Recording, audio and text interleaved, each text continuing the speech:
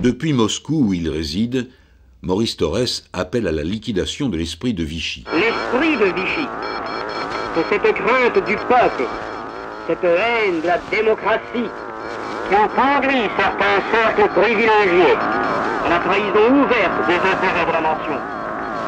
L'esprit de Vichy, c'est aussi la prétention absurde et néfaste de décider par en haut des destinées de la patrie. Le traître Pétain se disait responsable devant l'histoire.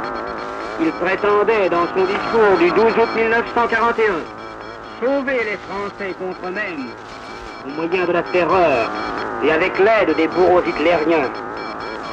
En Allemagne, les nazis disent Hitler pense pour nous. En Italie, les fascistes disaient Mussolini pense pour nous. Et chez nous, les Vichysois proclamaient de même Pétain pense pour tous les Français.